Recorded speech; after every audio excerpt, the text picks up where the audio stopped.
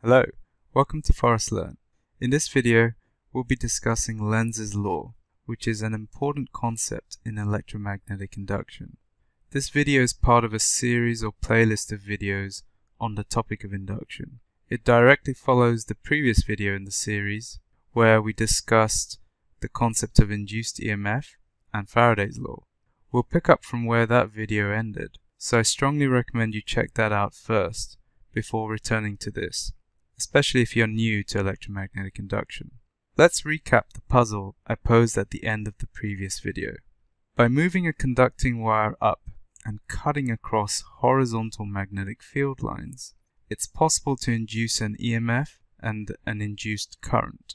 So just to be clear, the white arrows here pointing up depict this thick conductor wire or rod that's moving up and cutting across these magnetic field lines shown in black. Due to the motion of this wire, an induced EMF develops across the ends of the wire.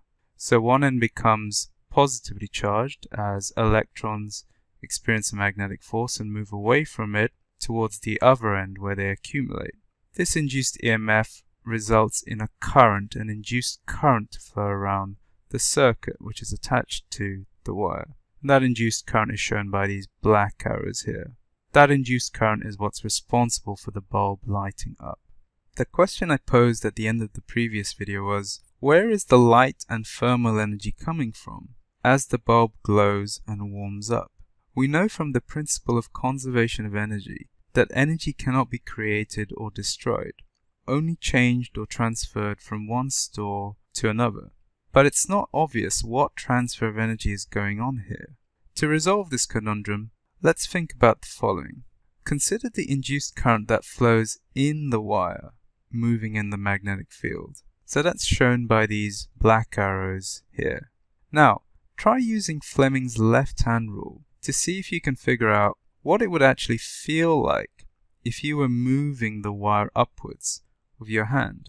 Please pause the video and have a think about this, and unpause it when you're done.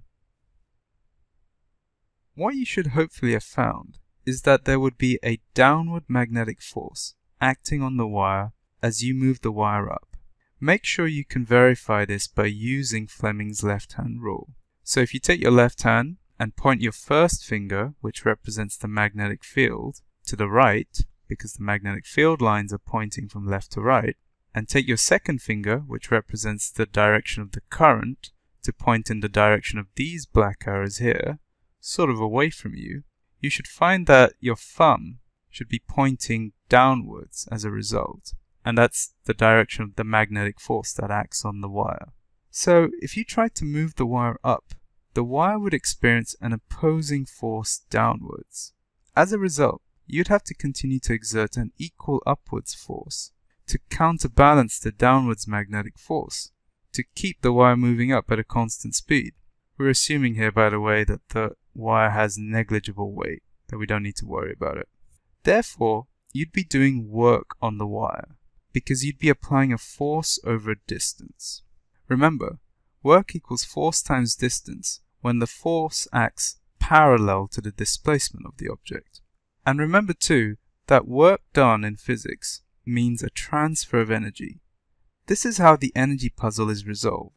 As you move the wire up at a constant speed and do work, there is a transfer of energy from the chemical energy store in your body to the electrical energy store of the moving charges, which then gets converted to thermal and radiation energy stores as the bulb heats up and emits light.